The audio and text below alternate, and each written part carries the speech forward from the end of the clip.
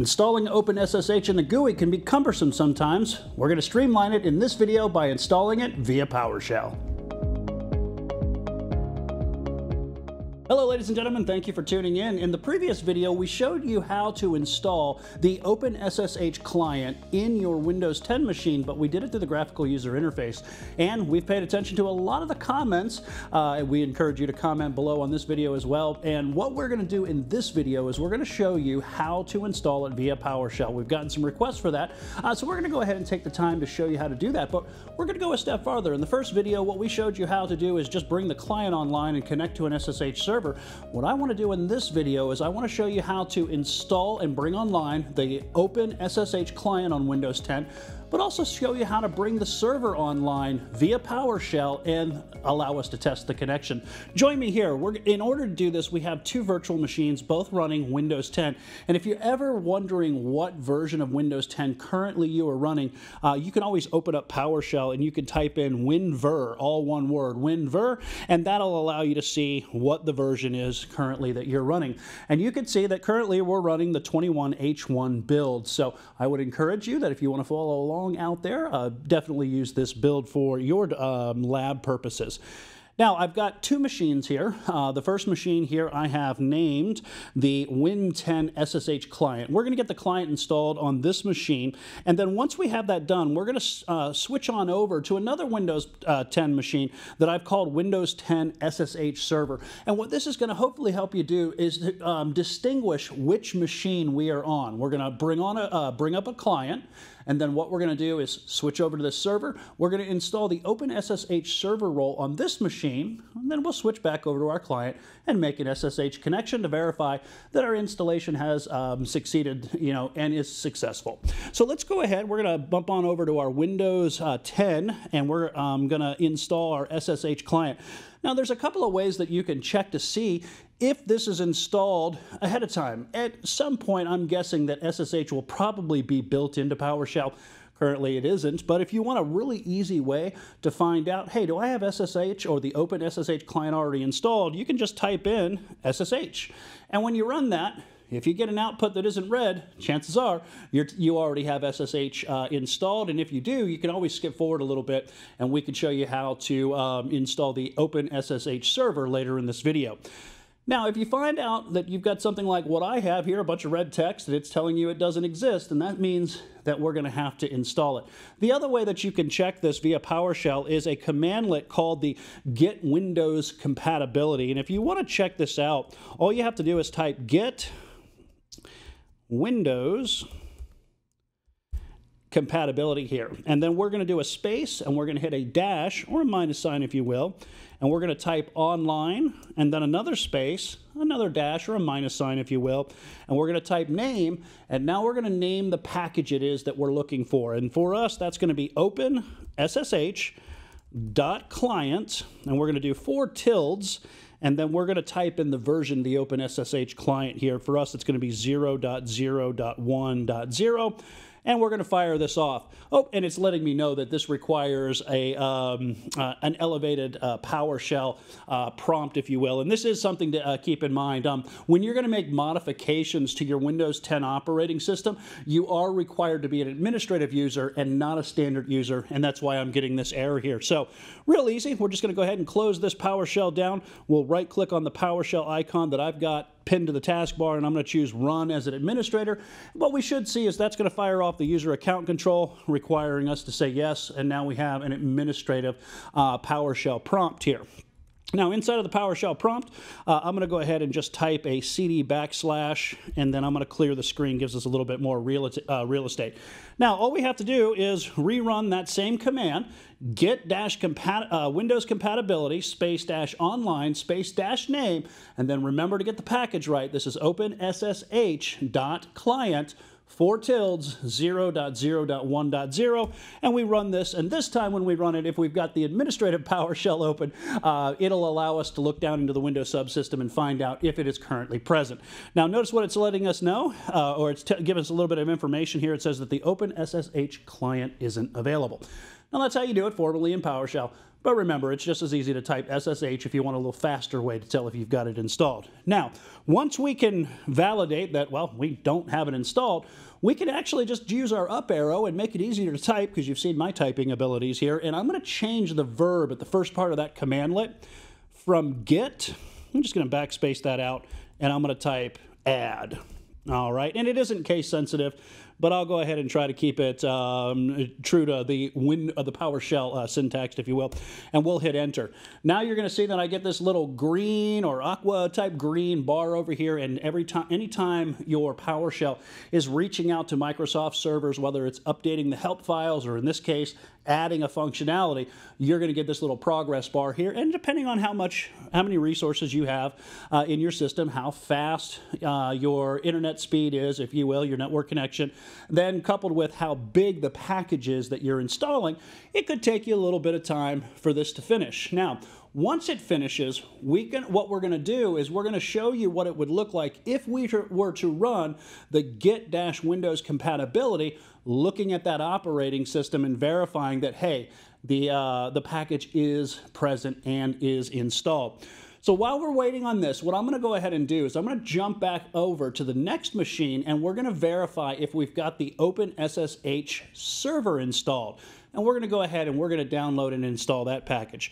So let me go ahead. I'm going to switch over to the Windows 10 machine that I'm using as my Windows Open SSH server. And we're going to type that same command, but we're going to modify the package name a little bit here too.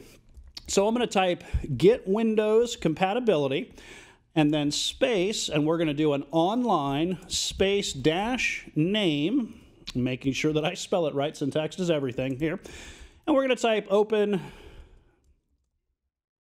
SSH dot server.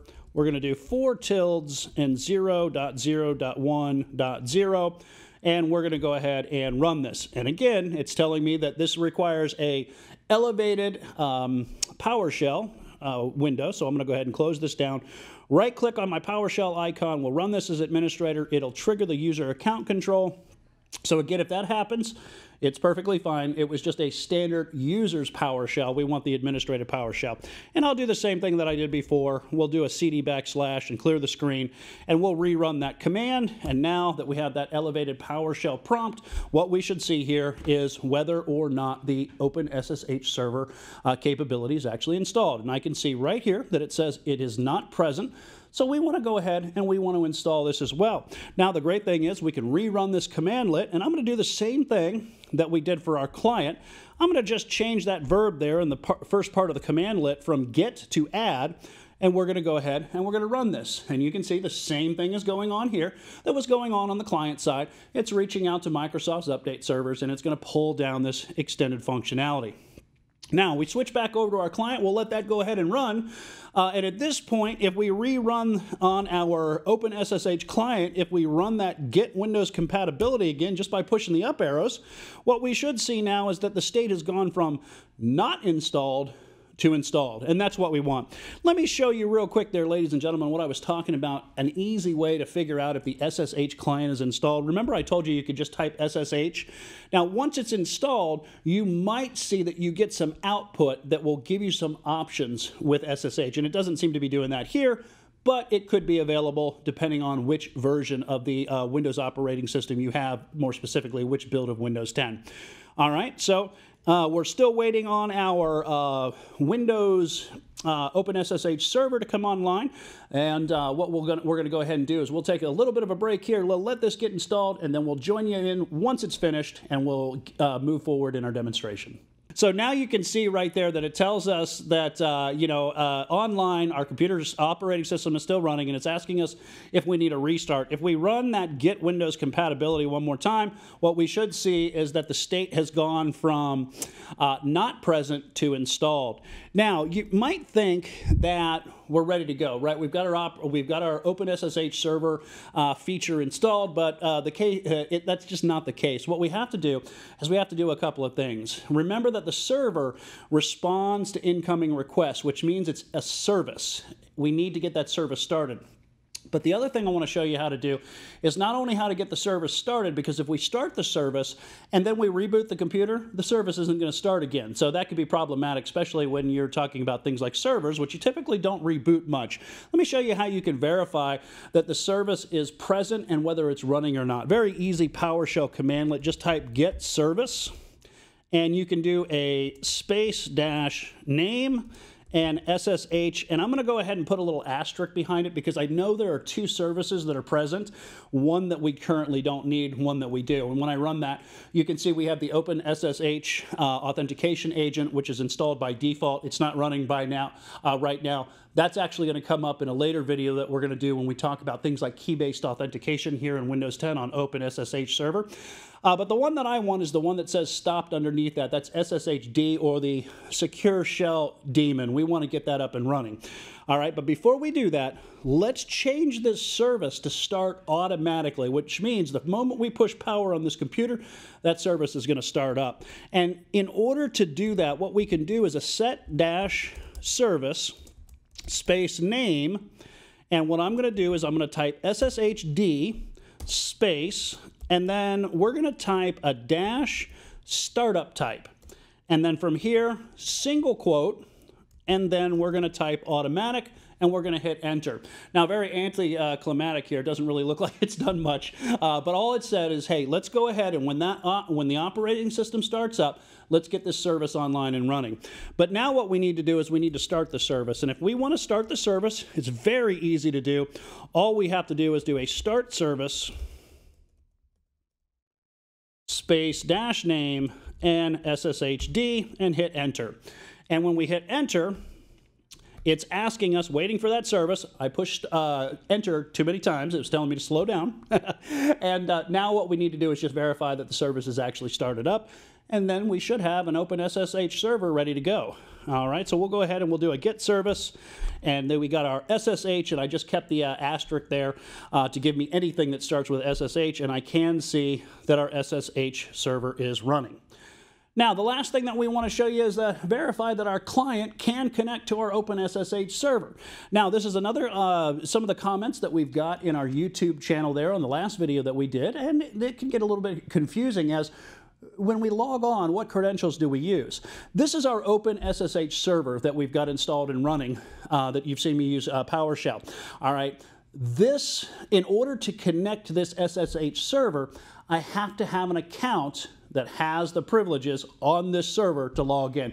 And that's important to understand. All right, so we're on our uh, client machine, again, our one that uh, our machine that is running the SSH client. Now, earlier, you probably seen where I typed SSH after we had the Open SSH installed, uh, and it still gave me the red text. What you might have to do, sometimes uh, you might have to do a, a refresh, if you will, uh, in PowerShell, and it's just like any other reboot. All it is is just closing down the PowerShell uh, window. You can right-click on on it. And for me, I'm going to go ahead and just run it as administrator. Typically with the um, SSH client, you don't have to run it as administrator. But you're going to notice now, once I've restarted the PowerShell interface here, what we're going to do is we're going to connect back to our SSH server. Now, it's important to understand when it comes to the authentication, I'm on my client. When I connect to the server over the network from here, I have to use an account that's on the Open SSH server and it has the privileges to log in, all right? I don't want you to think that when I use this PowerShell on my client, that I'm using any user account on this client. It's actually on the server. But here's, let me show you what I was talking about. When you run SSH, if you've already got it installed, this is what you should see. Uh, not what you seen earlier after we installed it. It was still giving me that red text. I just closed down the PowerShell, opened it back up, and it sees as, a, as an available package now. Now, in order to connect, I'm going to go ahead and clear the screen here. We're going to type SSH space. And remember, I'm typing an account, uh, a user account uh, that is on the SSH server. So student, student 02 is actually an account on the Windows 10 machine running the OpenSSH server. We're going to go ahead and use the at symbol, and I'm going to use the local IP address of the machine. So for me, that's 10.0.13.1, uh, and we're going to hit enter. And now what we see is we've got some authentication that's going on. This is our this is our server saying, "Hey, this is who we are, or who I am," and you need to verify that you uh, know and trust that server. I'm going to type yes, and now we are connected. And I'm going to go ahead and I'm going to do a CLS on this screen. And uh, let, let me enter the password doesn't seem like it like that. Okay, there we go. Now we're logged in. And if you notice the username here, notice it's student02 at, and then it says Win10 SSH server. That's very important. And again, based on some of the comments we got when we shown you how to do this through the GUI, how to get the uh, client online, some people um, didn't quite understand how I was authenticating. Again, keep in mind that I'm using an account that's on the SSH server, and if I need to verify that, other than just the command, the prompt here, I can always type "Who am I?" and you can see that this is a this is student 02 with that account on the OpenSSH server. All right, there you have it, ladies and gentlemen. So in this video, remember that we've shown you how to stand up the OpenSSH client, uh, first to verify if it wasn't even uh, if it was present in the first place. Then once we got it installed, we tried to verify whether it was installed or not, but we needed to shut down our PowerShell, reopen it, and then you can see just typing SSH verifies that it is installed. We also went to another Windows 10 machine, the one that we called the OpenSSH server. We installed the OpenSSH server service through PowerShell, and then finally finally jumped back over to our client, made our connection, logged in. That's it, ladies and gentlemen. That's how you install OpenSSH on Windows 10.